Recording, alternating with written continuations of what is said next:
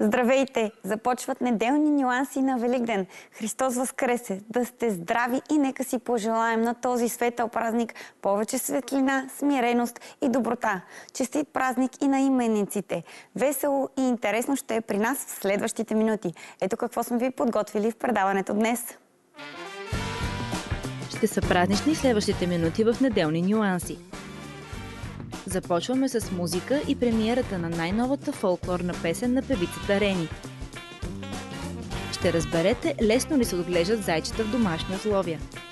А на финала ще е вкусно, защото в студиото влиза повелителят на кухнята от Ибачвар.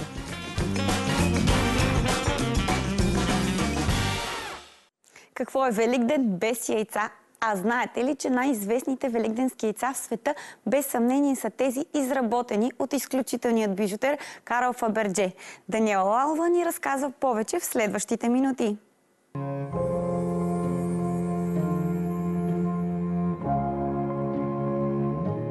Яйцата на Фаберже. Едва ли има човек, който да не е чувал за тях поне веднъж в живота си красиви, нежни бижутерийни изделия, които освен привлекателен външен вид, носят и дълга история със себе си. Как започва всичко? За да стигнем до отговора на въпроса, се връщаме близо два века назад, когато техният създател Петър Карл Фаберже се превръща в един от най-прочутите ювелири на всички времена. Роден в семейството на бижутер в царска Русия, той израсва в Италия, Франция, Германия и Великобритания, където получава своето образование – Фабърже наследява работилницата на баща си през 70-те години на 19 век и става изключително популярен в цяла Европа с ювелирните си творения, изработени от злато и сребро, топаз, лазурит, кристал и десетки други материали. През 80-те години император Александър III поръчва на ателието на Фаберже едно декоративно великденско яйце като подарък за своята съпруга Мария Фьодоровна. Когато получава подаръка, тя вижда едно обикновено яйце – макар и направено от бяло злато. Но това е само привидно. То се отваря и вътре открива златен жълтък. Подобно на матриошка, яйцето крие още изненади. Жълтъкът се отваря и в него има златна кокошка с рубинени очи. Кокошката също се отваря и в нея има миниатюрно копия на императорската корона, направено от злато и диаманти, както и малък рубин, който императрицата да носи на вришка на врата си. Яйцето остава в историята с името Кокошката – Благодарение на мигновения успех, Фаберже получава постоянни поръчки за императорския двор. Яйцата на Фаберже са общо 68 на брой, като 52 от тях са представени като великденски яйца. Седем са поръчка на московската фамилия Келч. Сегашната стойност на тези ювелирни произведения е десетки милиони долари. Най-скъпо продаденото яйце на Фаберже някога е на търг за 17,4 милиона щатски долара през декември 2007 година. То било изработено за династията Ротшилд, европейски банкери, изявени меценати, общественици и филантропи.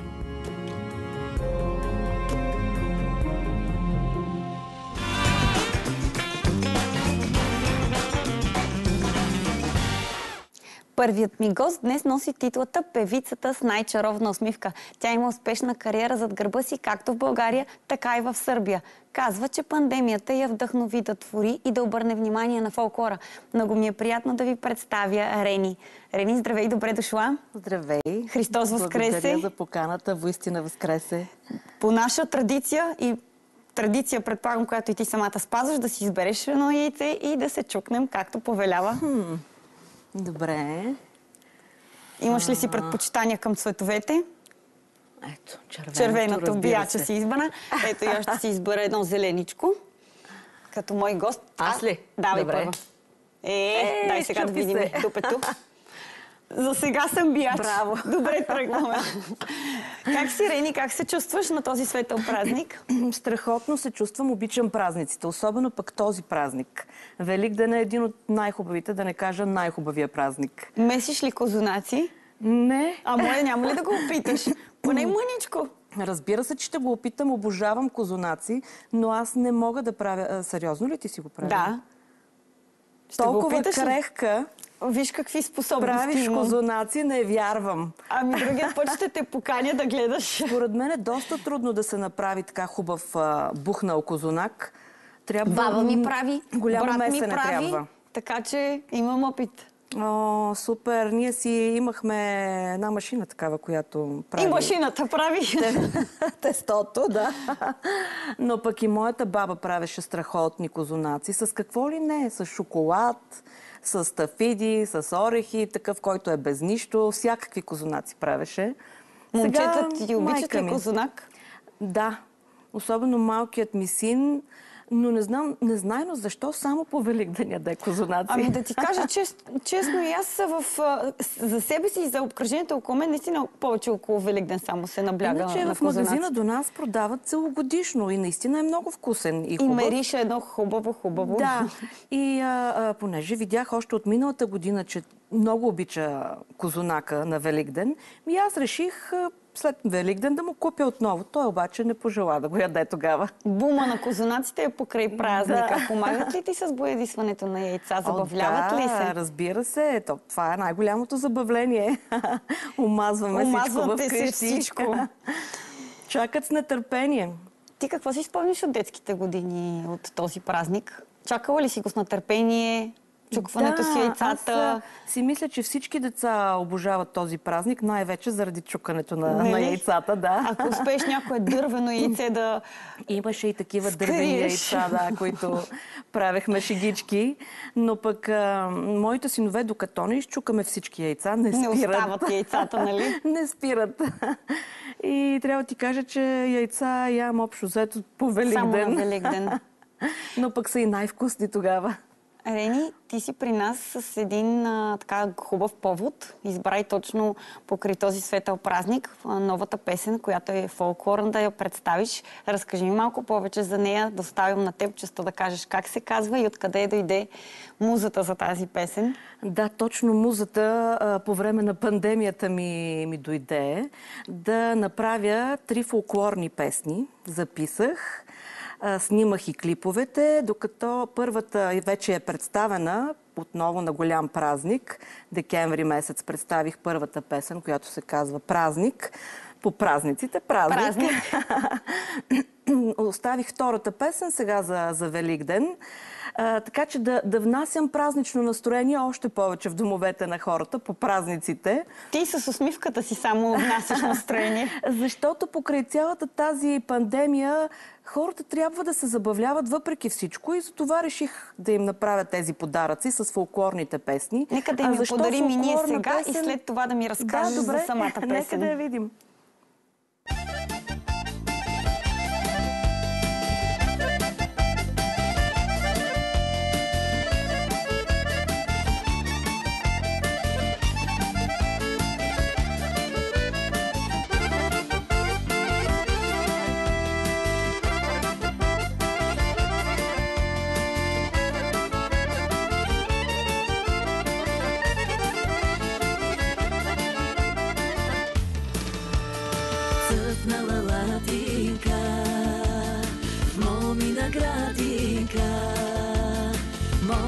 цвете полива, румена щастлива.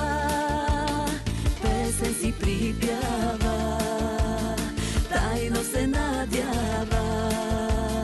Вечер на хоро да иде или бе да си види. Момино цвете омайно, раснало в място потайно.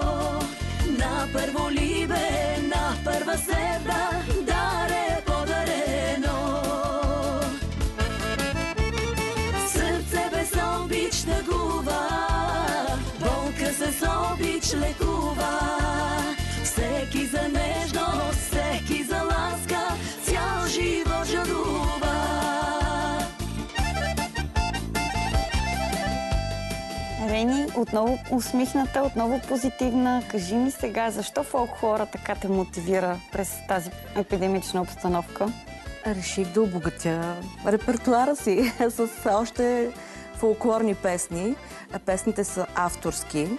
Написани са от Димитър Милев. Той е дългогодишен хитмейкър на народни и фолклорни песни.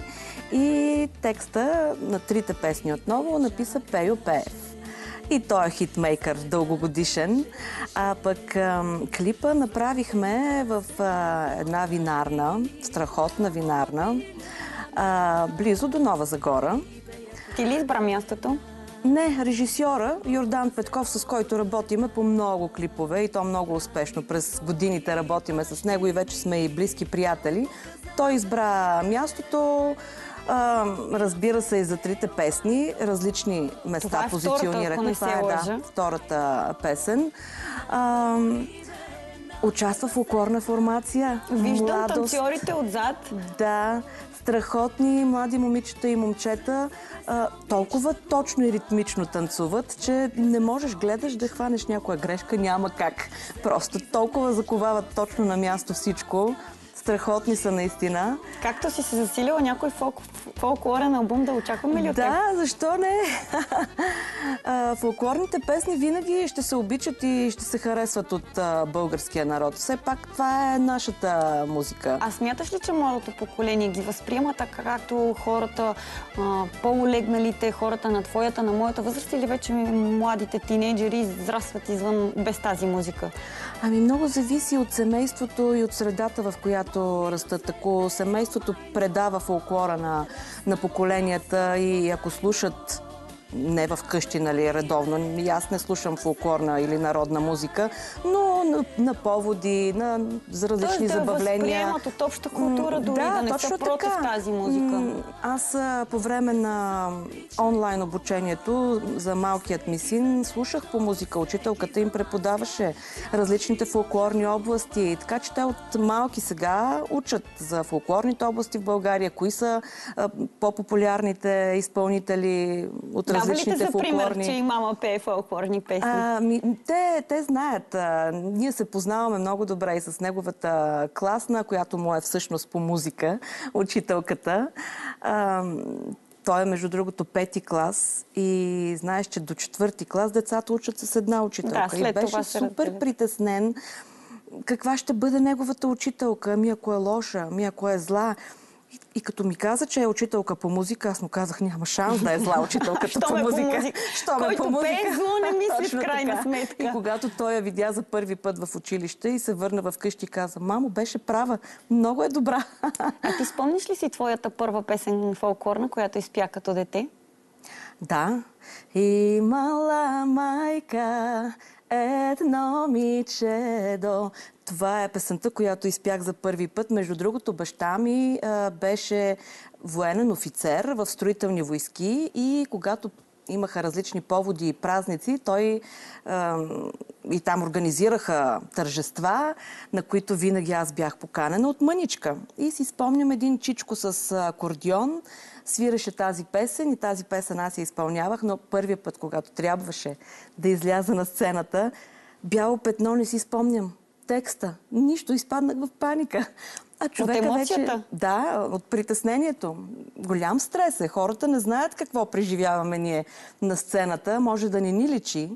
Особено пък аз винаги съм с широка усмивка, когато изляза на сцената, въпреки че отвътре се притеснявам. Това е майсторовка да, скриеш. но когато този въпросен чичко или батко, аз бях мъничка.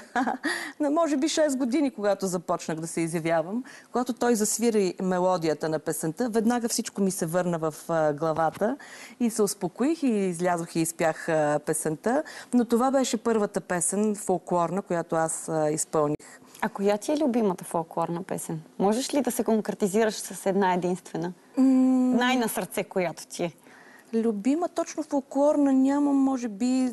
Има много хубави песни и то точно от различните фолклорни а, области, но пък най-лесно за възприемане са македонските песни. Те са така по-мелодични и по-лесни за възприемане, може би от а, Българската хората. публика. Да.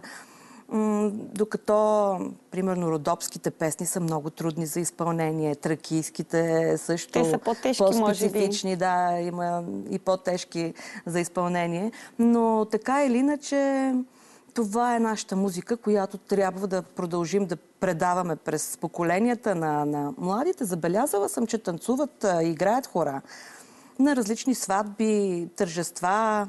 Виждала съм. Младите веднага скачат, като чуят още повече някоя така хубава, популярна фолклорна а ти успя ли народна да песен. предадеш над своите синове тази музика и въобще да тръгнат по някаква част от твоите стъпки, да ги влече музиката? Не, музиката не ги влече, въпреки че преди години направих детска песен с група Смехоранчета. Песента се казва Рицар ти бъди.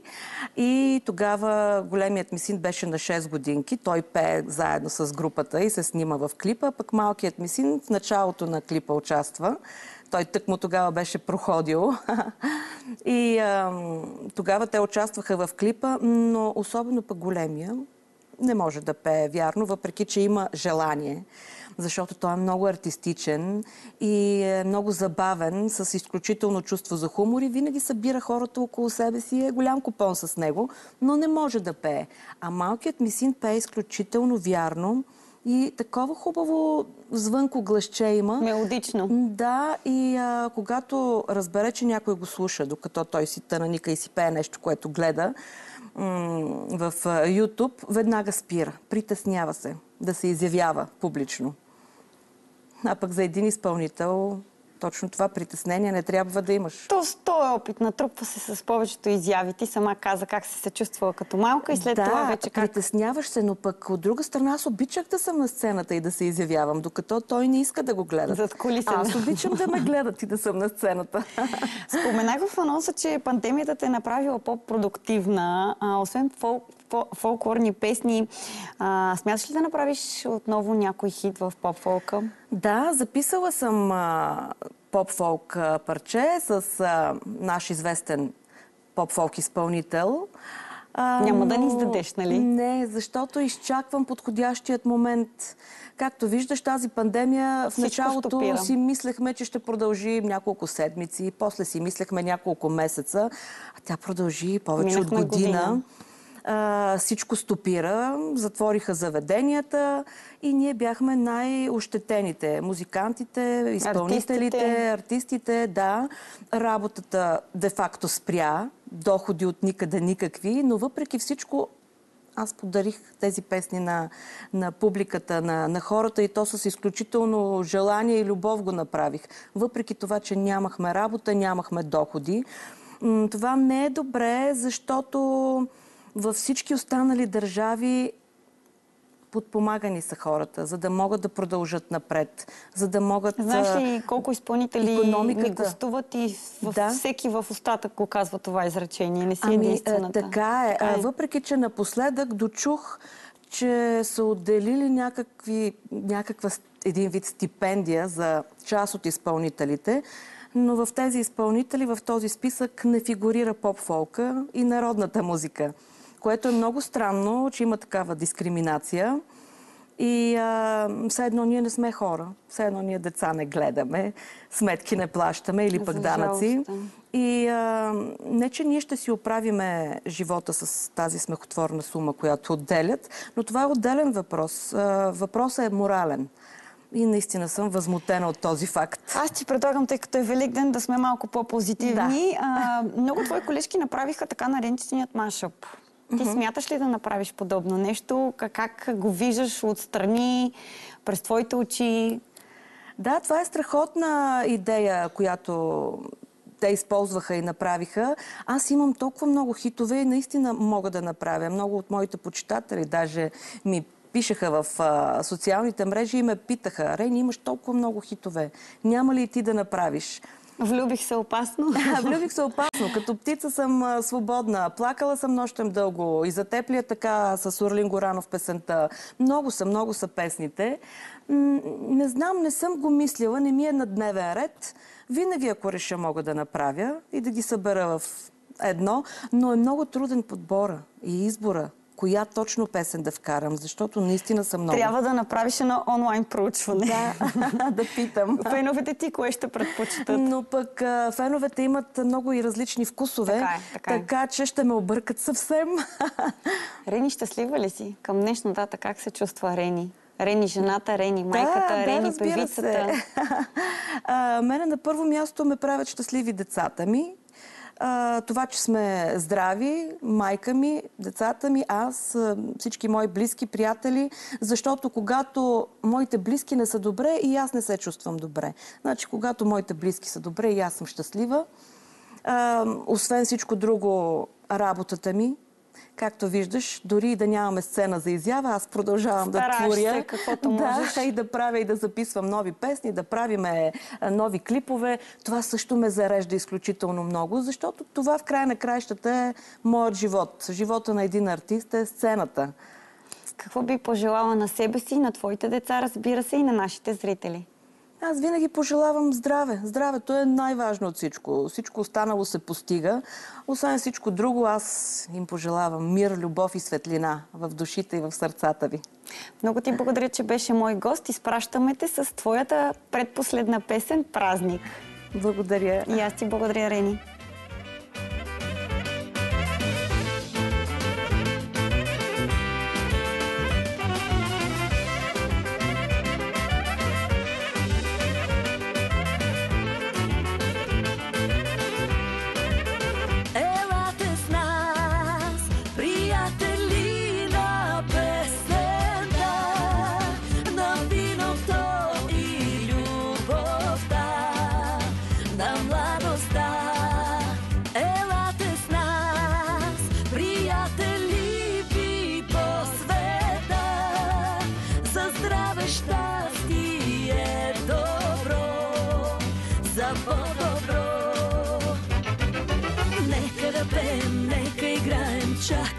Сутринта. Нека да пием вино червено пак за любовта и руйно вино да се лей и песен нека да се пее. Елате с нас, приятели, на виното и любовта. Да си отглеждаш зайче от дома става все по-популярно през последните години. Много хора ги избират за домашни любимци, защото са мили, галевни и послушни.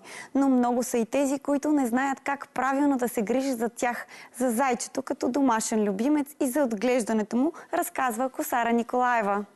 Едва ли има някой, който не е искал да потегли по пътя на заека към заешката дупка, както в Алиса, страната на чудесата. Днес обаче сме тук с Лина, която ще ни разкаже какъв всъщност е заека като домашен любимец. Зайчетата като домашен любимец са много кротички, много спокойни, много галевни, като котенци са по принцип и се гледат по същия начин.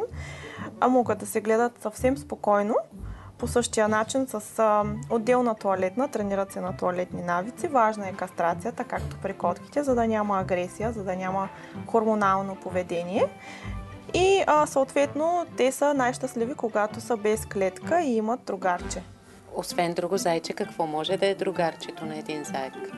Плюшена играчка, например, може да бъде дете, което е достатъчно пораснало, за да не грабва зайчето, да не го скубе, да не проявява така агресия, която разбира се, че не е планирана, но малките деца не могат да си контролират силата. Много от тях не обичат да бъдат вдигани. Това е основно правило, че те сами идват при вас и ето, тя се е легнала спокойно и чака да си я милвате. Ще ни разкажеш ли повече за нея и нейната история? А, Грейси всъщност ни беше а, дарена на организацията с Елият. А, предадоха ни ги в ужасно състояние от а, едно момиче, което се мести в Германия. И а, бяха на много мръсен талаш а, и пелети дървени. Като а, това нещо е причинило респираторни проблеми, не се знае къде е гледана навън или вътре. Освен на Грейси, през годините Лина успява да помогне на десетки зайчета. Още докато учи в Нью Йорк, тя се записва като доброволец в една от петте организации, които се грижат за изоставените зайчета в града. Решава да направи подобно нещо и у нас. Все повече доброволци решиха да се присъединят към нас и а, тази година в началото, по-точно в края на миналата, решихме да си основем и организация Доброволките. Колко различни вида породи има зайчета, които са подходящи за домашно отглеждане? Абсолютно всички породи са подходящи за домашно отглеждане, всички са домашни любимци потенциални. вече а, кой каква порода избира да си отглежда вкъщи, право на личен избор. Аз лично имам 8 кг заек. Той е немски шахматен гигант и е изключително красив. Той е черно-бял, тип далматинец, но е зайче и е с кучешки характер, като аз лично а, горещо препоръчвам на хората големите породи. Те са по-спокойни, те са по-здрави, по-издръжливи, а по-дружелюбни, по-гошливи, изобщо от всичко по повече. А за да сте грижовни стопани на зайче, трябва да сте постоянни при отглеждането му.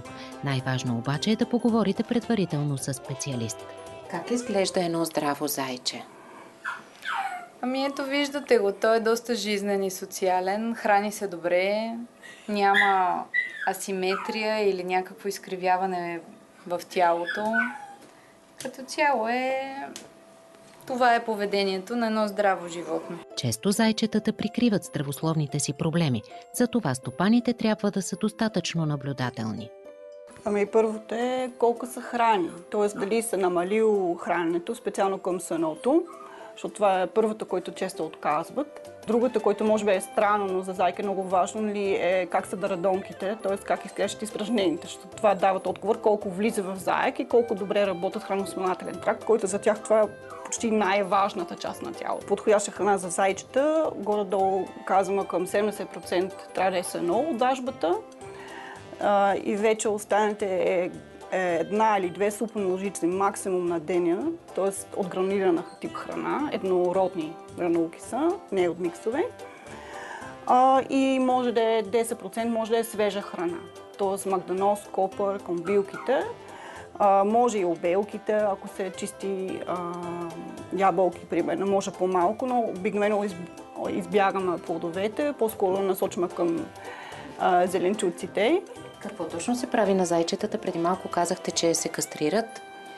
Да, освен това ги обезпаразитяваме, правиме профилактични кръвни изследвания, следят се зъби и ногти също така. Той на колко години е и каква е продължителността на живот на зайците?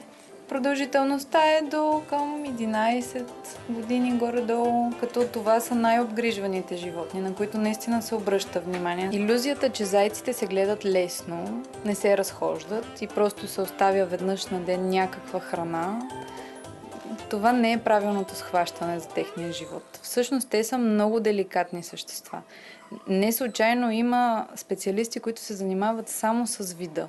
Едно такова зайче като Карлос Зоро, кое, което е доста активно, казвате обаче, че трябва да му се осигури пространство в, дом, в дома, в което да се разхожда свободно. А може ли зайка и да се дресира, така че нали, да не ходи и за останалите части от дома, които не е позволено? Да, ами може да се дресира от гледна точка, нали, осигурима достатъчно място. Има си туалетка, примерно едно ъгълче или където си кътче да правим, където охраняме ги с сено, близо до туалетката. И там вече го приемат като туалет. Може да ги дресираме по-скоро да правим, нали, да се разхождат зад нас или такива неща. Не може да кажа като седно на куче, седни мирно там в его и, и не мърда. Това не може на зайче да, да се случва. Като цяло апелираме да се осиновяват такива животни, които имат нужда, а не да купуваме нови и нови. Карлос Зоро е един от 30-те зайчета, които могат да бъдат осиновени, така че ако искате един наистина много мил и много активен домашен любимец, може да си вземете някой от тях.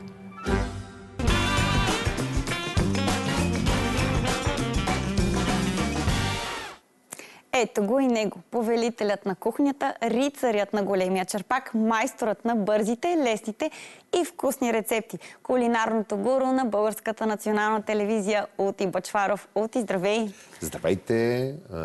Така най-светли помисли в този истински светъл ден, където мисълта за надежда, за възраждане, за тепърва чувство на българина, което той се забравя, че първо тук нататък всичко следва.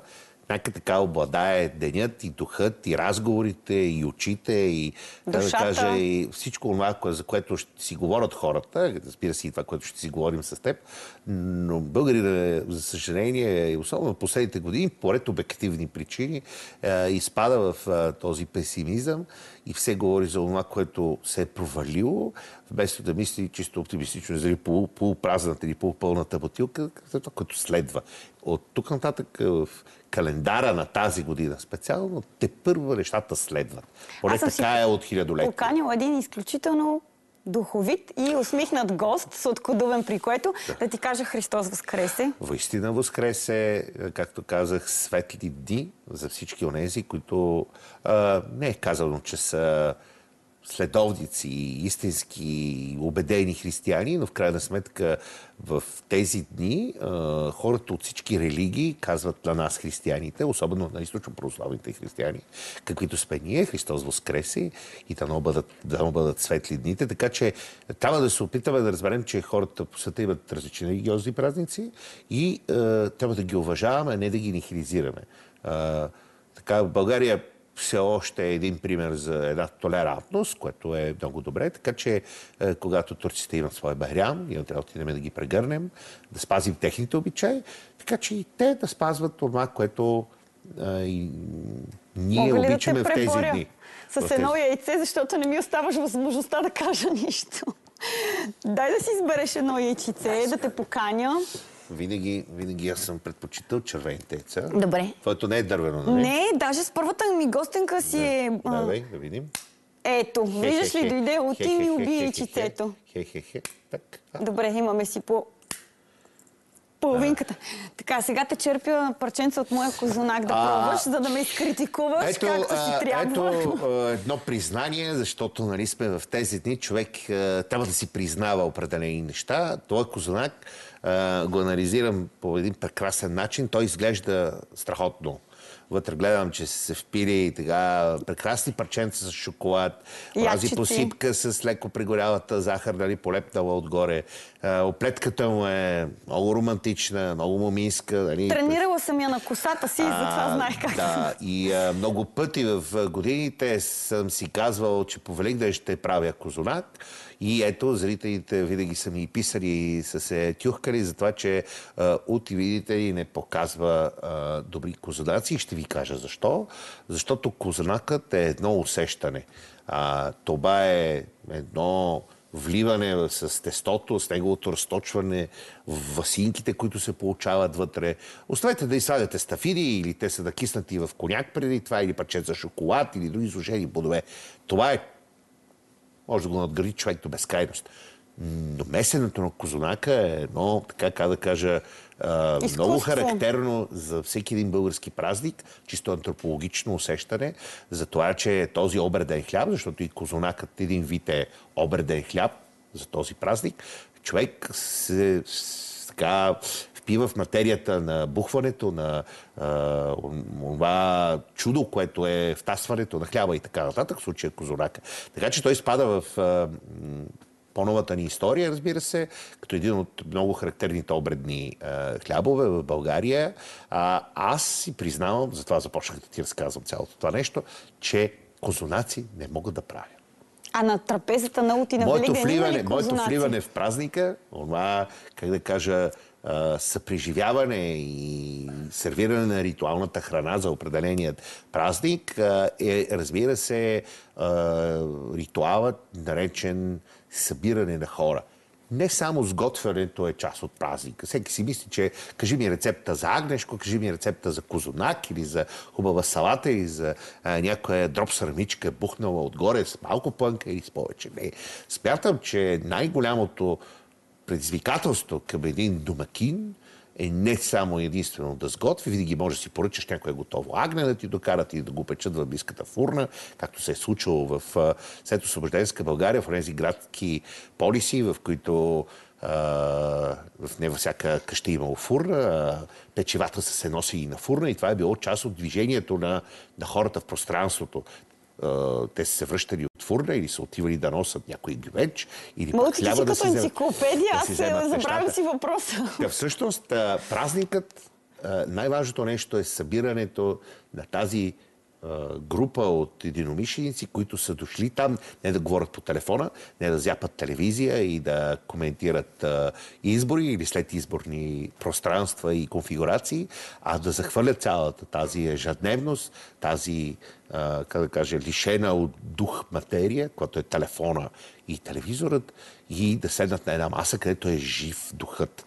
На моите трапези е забранено хората да говорят по телефон и да гледат телевизия. Това е обидно към храната и към домакия поне според мен. И когато един селекционер, един такъв а, пастир на, една такава, на едно такова празнично събиране, успее да приложи всички тези магии, тези е, видими и невидими неща, се получава онзи дух, който се помни, трапезите продължават безкрайно дълго, никой за никъде не бърза. Друго правило при моите събирания. Никой не бърза. Не казваш, ох, сега ще си ходя или с кола съм, не мога да пия. Остави си колата, заби си едно такси. Има drink and drive. На това Правила. ли учиш своите деца? а, моите деца, първото нещо, на което се опитвам да ги науча, особено в тази възраст, те са сега пътешестват към своята четвърта годинка, разбира се, чак в края на лятото, е това да имат чувство за хумор. Смятам, че а, чувството за хумор и бодалкането, както им казвам аз, не да го Защото там нещата са... Границата е тънка. Но моите деца искат да се научат да се бодалкат, да, е, да успеят да предизвикат е, себе си в това да поведат другите, особено казано, малко за носа, за да ги излъжат, да ги вкарат в своето собствено представление и след това, разбира се, да разкрият, като всеки един магиосник, всеки един фокусник, иллюзионист, да разкрият тайната на своят замисъл. Защото всъщност това е кефът от спектакъла, дали, който те изнасят. Така че именно това в момента им преподавам тези уроци. А, и преди сега гледах а, вашия репортаж за зайчетата. А, те имаха такъв един урок. Аз а, имат плюшени играчки, разбира се, които аз, а, докато се науча, че го правя с чувство за хумор, много пъти вкарвах, например, имат една сърничка, имат различни патета, те реват, аз отивам, вкарвам плюшената играчка в урната, докато се научат, че всъщност тати се шегува. А, така че това уроците, които им дават. Не ходят на пияно, а, не са балерини още, не знаят дума английски и така. А толкова сладкодумни ли са като теб? А, всяка по-своему. Те скоро имаха и много хубав празник, защото Великден, разбира се, е нещо чудесно за всяка една фамилия, но вкъщи винаги а, празникът е бил цветница. Така че те на цветница имаха имен ден, защото те са Ружа и Далия. Далия. Да, имат си имена свързани и търсени в тази посока, за да имат, освен че са родени през една минута, имат и а, имен ден на един и същи така празник. Не знам дали знаеш, че Цветница е денят, в който най-много българи имат имен ден. Не са Ивановците, не са Мариите, а са всички Признавам цвет- си, не, но ще го това е- запомня Това е теб. един интересен факт, че всъщност най-много именяци има на Великден. На Просто Цветница. защото са така една сборна коалиция, дружна, а, невраждебна, а дружна коалиция, която чества на Великден. И на, на Цветница. Така или иначе, м- те обичат много да похапват. С Акришкото все още имаме известни проблеми. А с заешкото как си? Предвид зайчето, което... Заекът, между другото, като е, а, за хумор погледаме на това, че тези декоративни зайчета тати ще ги занесе във фурната и ще ги изготви. А, няма такава опасност, но по принцип а, като храна за деца, ето така да мине в по-друга... Здравословната. Ами, дай да не използваме, Добре, моля ти се, съгласна. здравословно, че, а, както казват руснаците на Даяла, а, не, с това здравословно хранене и мис, позитивно мислене, вече нямам никаква толерантност към тези шаблони. Да. Тези шаблони, те са по-скоро вредни и говорят за амортизация на, на този тип клишета. Но заешкото е едно прекрасно месо. В някои от големите вериги даже се появиха варианти на охладени заешки вкусоти.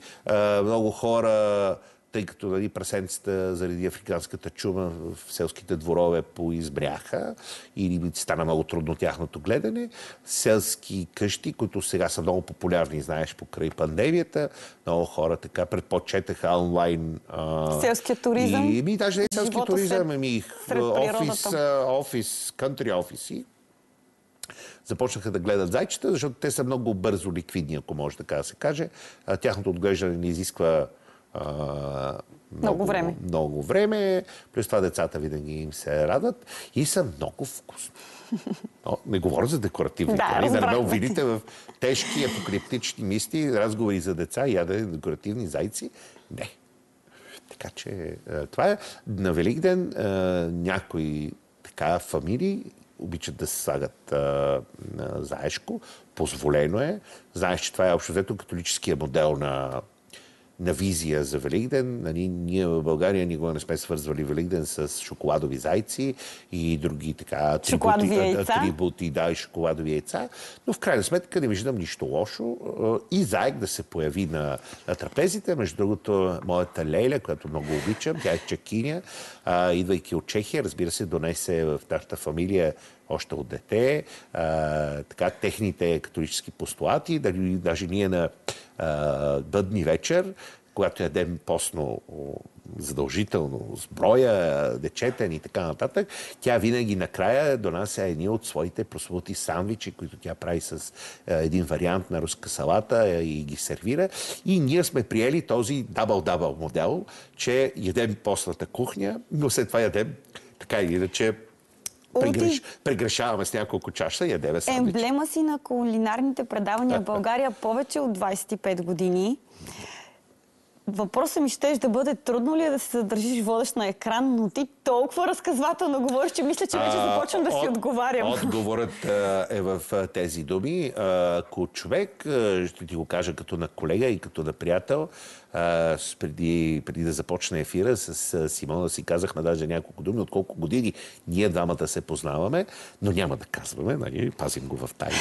А, мога да кажа, че а, дълголетието на едно екранно присъствие и въобще в присъствие в определени ефири, пространства и всичко останало е въпрос на това самият самата персона, която иска да е по-дълголетна, да си даде отговор на няколко въпроса.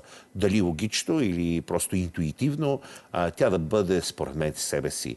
А, ето, през всичките тези години, появявайки се през далечната 97-ба, а, тук в така, семейството на, на телевизионните предавания, защото аз съм израснал тук в телевизията покрай майка ми, но тогава м- си бях обещал винаги да говоря за храна така, както обичам а не така, както някой Трябва. ме учи. А, разговорите за храна вкъщи бяха ежедневие. А, аз разказвах за храна и за моите кулинарни преживявания още тогава. Бях известен сред колегите си във Витис и сред приятелите си за това, че нали, аз в истинския смисъл на думата сънувам храната. И слава Богу, слава Богу, тези а, мокри кулинарни сънища са все още част от а, а, от моите нощи. Защото ако човек престане да се вълнува от това, което прави, разбира се, папагалски може да застава пред екран и да готви, Рецитира, да рецитира. готви. И тук връщам темата, за да ти разкажа, ето за това не правя козунак, защото трябва да го сготвя папагалски. Ти, ти започна с това. Искаш Да. да, чувстваш това, което правиш. Именно, да. Не, не, не усещам тази магия на сладкиша на, на тестата. Това не е моята стихия. Ето затова сега в нашето предаване каня различни млади колеги, моята нова колежка Стефи, която е вдъхновяваш себе си сладкар. Или пък Роската, който от доста години е заедно с мен в, в предаването и в нашите промоции. А той самият още, когато се запознахме, каза, много обичам да меса, да правя хлябове, да гледам как бухват, да им добавям разни неща, да ги, да ги обогатявам. Така че в е- едни екипи, както си и големите екипи във всеки един ресторант или в всяко едно звено, което се занимава за, да, с това да създава радост на останалите, а, хората имат определени функции. Пенкелер, готвачи, кулинари или телевизионни водещи, е, човек не може да ги, да ги възприеме и те са много с, с много скъсен живот. Затова аз а, още тогава, когато се появих на края на Българската национална телевизия, като едно а, младо момче, пак има големи бузи, но а, с някой друг килограм отдолу, а, тогава още чисто театровецки се пак. Нали, аз съм завършил и тази, тази специалност и дадах а, отговора на въпроса как трябва да живея на екран дълго усмихнато и това да не създава в мен стрес, а да създава удоволствие. Да бъда себе си. Нищо друго. Това е. най-верният отговор.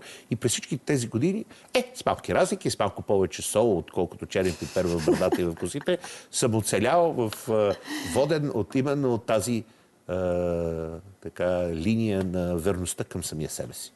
А може би това е цялостната позиция на един човек, който по един начин е разпознаваем в пространството, е той да умее да бъде интересен на самия себе си. Защото хората обикновено или копират, или играят роли, които не са им естествени, те са си скучни сами на себе си и това е много тъжно. А аз продължавам да съм същата луда глава, да съм интересен на себе си във всеки един ден, до всяко едно мое начинание. И все още съм известен като човек, който си щупва главата с някои възможно, невъзможни мисии. Това е. Оти, мислил ли си да направиш по някакъв начин училище, за да предадеш този опит на съвкупност от страст, която имаш към готвенето, от страстта, с която се изразяваш, която според мен ами... имам чувство, че храната попива тази твоя любов. А, разбира се. Нали, да, да излезем и от другият огромно клише как става толкова вкусно и кажеш ми, защото влага много любов вътре. Просто ужасно е на същото клише. А, смятам, че човек да преподава любов е нещо, което трябва най-важните учители, това са родителите. Али, любовта към живота, към детайла, към това, което може да направи човека щастлив, е усета на родителите. Ето ти си така част, аз не знам кой те е вкарал в света на големия спорт и още към страстта към спорта, която е видима нали, е само от победите, но и от твоята персона до ден днешен, е същото, с което те просто са намерили нещо, което ти е било интересно, нещо, което те е вдъхновявало. Ако човек не се вдъхновява от себе си, от кого друг. Да, има някакви примери, има някакви обществени идоли, които го карат да ги следва. Но човек трябва да може да се вдъхновява и от малки неща, от по-прости случки в ежедневието. Не е нужно да чака белия принц или някой да му подари нещо, с което да си оправи живота изведнъж. Тези ежедневни крачки към щастието, бързо, ликвидни, малки, вкусни моменти, дори в цялата условност на това да бъдат вкусни като наименование, човек го кара да бъде да приема този бърз въглехидрат ментално, той да го задоволява бързо и лесно, а не да чака едно много дълго, сложно развитие на казуси. Не, просто трябва да търсиш такива весели моменти, които те карат да кажеш, вау, нещо ще ям вкусно и, и отивам еди къде си. Понякога знам някоя баричарница, където съм чул и някой приятел ми е казал, че правят по-вкусни банички. Отивам да пробвам. Тоест всичко, което кефи. правиш, да е с, с, с желание, с страст към това. Точно да не е просто, просто така. Абсолютно. А, разбира се, има и неща, които човек трябва да игнорира. Трябва да, да ги сметне за джанкфуд, да ги сметне за така невкусна храна, за храна, която е под достоинството му. Храна във всяко едно отношение. Дали ще е шумът около себе си, който е много тежък вариант. Ето, разказах ви за празника седиш на една красива готина маса, някой е сложил цветенца, направил е салата, три дена се е вълнувал. Какво агне да вземе, откъде е, плещица или бутче да сложи. Дроп сърма някой един от седящите не обича вътре да има чаравца, той е сложил само белия дроп. Разбирате, имат сващни уравнения, решават. Оти ти живееш тези, три жени, тези тези... имат ли думата от теб или не? А, разбира се. Защото аз признавам си трудно ми е. Кажи ми сега, ако имаш 20 лева в джоба, да. за какво ще предпочетеш да ги изхарчиш? Да отидеш да си купиш нещо готово или да си купиш продукти и да си изготвиш? тези 20 кинта, ако имам 20 лева, веднага бих взел един рейс и бих отижал при някой приятел. А какво никога не би си поръчал? Друга е логиката ми. Не искам аз да си купя, искам да отида някой, с който да споделя нещо. И движението в пространството е много важно. Какво никога не би си поръчал в ресторант? А, специалитет на майстора. Това е а, част от а, част от а, така, булавачите и номенклатурата на, на Балкан Турист, където винаги имаше специалитет на майстора, а, които бяха едни много засукани ястия, в които имаше шунка, мариновани гъби а, и кашкавал, завити във всякакви видове меса, панирани, пържени и печени и те се сервираха много помпозно с горящи спиртове отстрани и така нататък. Така че, когато чуете за нещо, че е специалитет на майстора, не си, го, го. Не си го поръчвайте. Когато си говорих за, ето, за отношението към Е, Негово величество, човекът, който е дошъл да похарчи някой лев в един ресторант, питаш без за въпроса. Там ключова роля играе сервитьора. А, ако ти, а, той не те разбере, не, не отгадне твоите желания, или сервитьор, когато го питам ми, какво интересно имате сега, нещо, предполага, защото има заведения, които са, така да кажа, с плаващо меню, за деня може да има нещо и така нататък. И така ми, прочети си менюто, всичко свършва. До там. Кажи ми някой вид за готвач. Любим или мой интересен? любим вид е, разказваха го на времето, а, дето кокошката и петела седат на селския, на оградата и м, прозорецът е отворен и вътре, разбира се, канал едно върви, почва а, моето предаване и те казват, кокошката вика, започна филмът на ужасите. така че един кулинарен вид, веднага се сеща за него, така а, добре смисъл на думата. Много да- те моля, имам специални блиц от, въпроси към теб. Моля ти се кратки да са, защото Давай, няма давай. да си. Няма да. Отговорите ти. Любимият ти протеин? Месо? Учи. Любим въглехидрат? При всички положения, колкото да се подиграват на китайците, ориз. Зеленчук?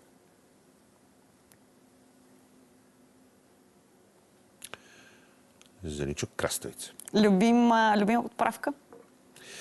Безспорно и единствено черно пиперче. Какво има винаги в хладилника на Ути? В хладилника, в хладилника от винаги има добре охладена бутилка бяло вино. Най-доброто мезе за ракия? Стар приятел. Най-доброто мезе за, за бира? А, весела дружина, която не гледа футбол. А за вино? Една горяща камина.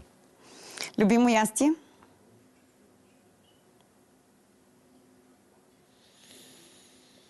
Комат хляб и глава лук. Любим десерт? Споделям го с останалите. Това, което не обичаш да готвиш? Десерти. Храната, която можеш да хапваш всеки ден?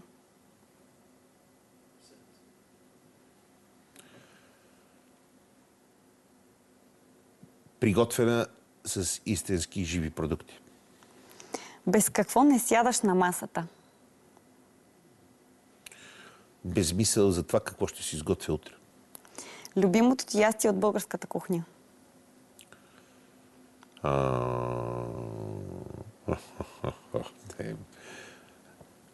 Пиле с ориз. А от чуждестранната? Паста, разбира се. Последният кухненски уред, който си купи? Глинен сач. Ястието, с което можеш да разтопиш всяко сърце? А, вълче мезе. Най-скъпото ястие, което си опитвал?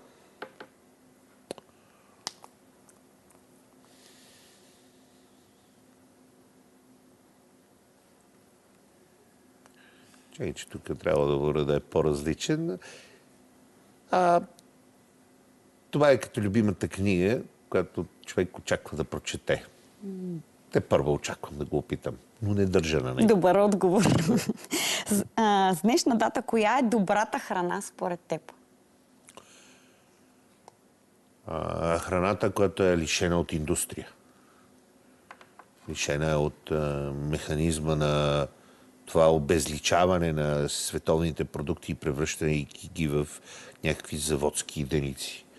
За съжаление, храната в днешно време, ето, човек трудно може да се докосне до истински продукти. Те са плод на много сложни преквалификации, премоделирания, които трябва да ги доведат до един магазин да изглеждат по един и същи начин, да са вкарани в руслото на тези унифицирани клишета и този сюрреалистичен момент, за съжаление, в който и част от зелените, част от хората, които се борят срещу тази индустриализация, до някъде са прави, казвам го като кулинар, защото а, мога да ви кажа, че индустрията за изхранването на този свят е вулгарна.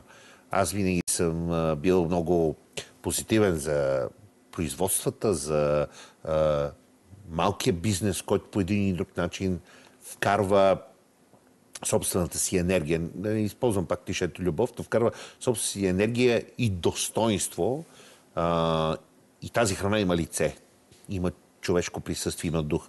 Онова, което идва от големите фабрики е Имаше един страхотен филм в моето детство.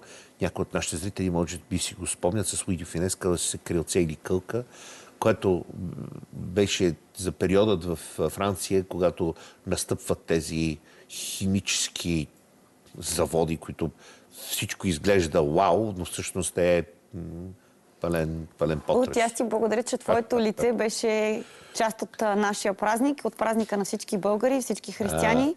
Дано е светъл този ден за всички. Зарежете телефоните, изключете телевизорите и бъдете себе си със своите приятели. Благодаря ти още веднъж, Лути. Така завършват неделни нюанси и на Великден. Може да ни откриете по всяко време на имейла на предаването или на официалната ни страница във Фейсбук. Аз съм Симона и ви пожелавам весел празник. Yeah, we were talking, oh so close. On this Friday night, a million faces overdose. And yours I happen to find with a smile that exploded. across your face and then mine. It's got me wondering how is it gonna be without this bottle of wine?